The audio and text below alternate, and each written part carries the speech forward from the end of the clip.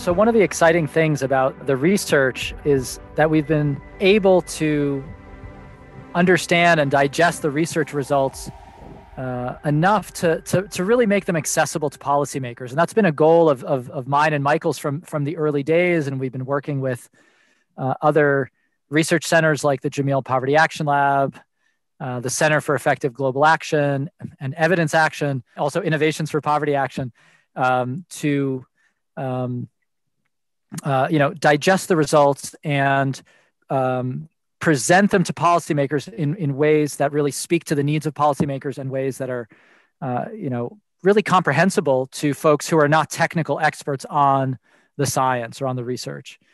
Um, one of the things that we've done recently to, to, to advance that, uh, that, that mission even, even further is open policy analysis or OPA. The goal of OPA is to take existing research estimates and really home in on the core aspects of the research that speak to policy decisions. So, in the case of, say, the decision of a government to um, carry out a deworming program, they're going to be very interested in the costs of that program. They're going to be interested in the types of, uh, you know, benefits or labor market gains that they may, uh, that their citizens may experience if the program is implemented.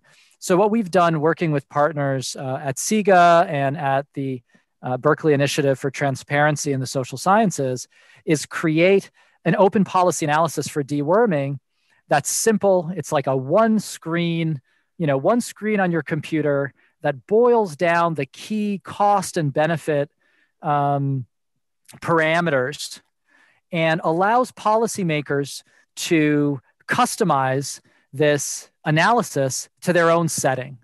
So it brings in evidence from research, like the research Michael and I and co authors have done on the labor market benefits of deworming, but also allows the policymakers to bring their own data on, for instance, what the cost of deworming could be in their own setting, in their own geography, given the worm burden uh, that they face. And by altering those parameters, get a sense of what, how these costs and benefits compare, and thus whether this might be an attractive policy uh, in that setting.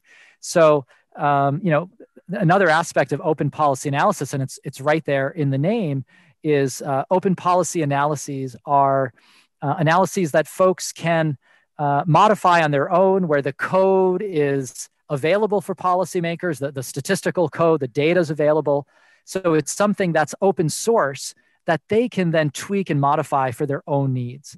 So I think you know, t- taken together, the you know, marrying some of the insights from the, the open source movement or the open science movement with the research on uh, on deworming has created a powerful tool, this OPA for deworming, that governments around the world can use um, when they're considering whether or not to adopt the policy. Yeah, just to build on that, we're incredibly excited about the the power of, of OPA um, for a few few reasons. One is, as Ted mentioned, the policy, policy advocacy. When you enter into a new country, a, a key first step is actually helping make a case to the country that deworming is worthwhile. You know, policymakers have many competing priorities for their time, for their resources, and you know, with this analysis, we can provide a clearly um, grounded uh, definition of the benefits for that country using their cost, using their worm burden. And so I think that's really critical as a first step. Second, once you're actually in country, ideally you want these governments over time to be owning uh, the financial investment for deworming programs. And so, what this tool can do is actually support conversations around domestic resourcing. Uh, for example, ministries of finance play very important roles in determining the funding allocations for health programs like deworming. And with this tool, we can actually show governments how, ministries of finance, how an investment in deworming will result in an increase in an income base and then show what that can, tra- can translate into in terms of increased tax revenues. And so, one of the things we're looking forward to is being able to show to, to ministries of finance the financial net present value of their investments in deworming um, to make a, a good financial case for, for those investments. And, and then I think a, a, third place that we see this really helpful is, is for our own internal decision making. Uh, because we can tweak it, because we can use data from different countries, it helps us prioritize uh, which which are the next set of countries we want to expand into. um, and it gives us that quick snapshot of of what the potential impact of deworming in a in a new geography will be. I think just to add one more thing, it's been so gratifying to see how much open policy analysis has has advanced in the last year or two, and to see how enthusiastic our partners like Evidence Action and government partners are in this tool.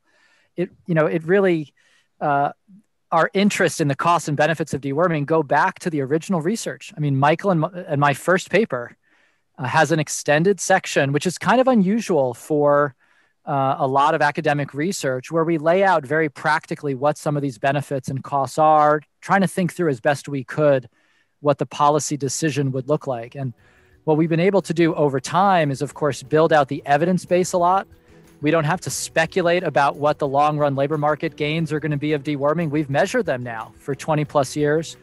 Uh, the cost side is really clarified that the cost of these drugs has fallen a lot, you know, especially as programs are being implemented at scale around the world. So, you know, a lot of the things that we speculated about 20 years ago, we have really hard evidence on them now. And through open policy analysis, it can be presented clearly to partners and policymakers in a way uh, that can continue uh, allowing policymakers to make the best decisions for their population.